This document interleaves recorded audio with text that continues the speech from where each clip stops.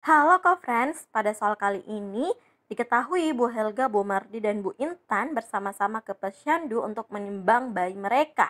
Nah setelah ditimbang didapatkan beratnya berturut-turut 5,75 kg, 61 per 4, dan 7,125 kg. Nah ditanyakan berat ketiga bayi tersebut jika ditimbang bersama-sama.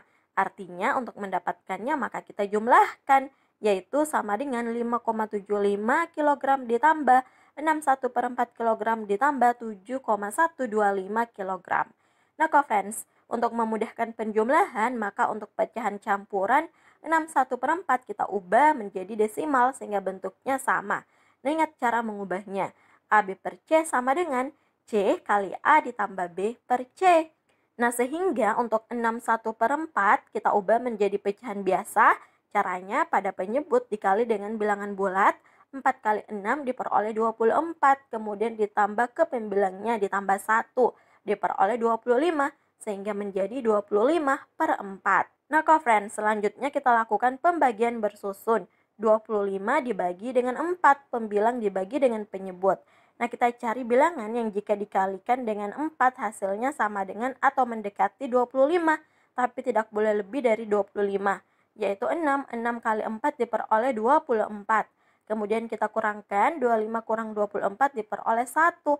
Nah, karena di sini 1 lebih kecil daripada pembaginya daripada 4, maka kita kasih koma di atas, maka bisa kita turunkan 0, sehingga menjadi 10. Nah, kita cari lagi ya bilangannya yang jika dikalikan 4 hasilnya sama dengan atau mendekati 10, yaitu 2. 2 kali 4, 8. Kita kurangkan diperoleh 2 kita turunkan lagi 0, cari lagi bilangannya yaitu 5, 5 kali 4, 20, kita kurangkan sama dengan 0.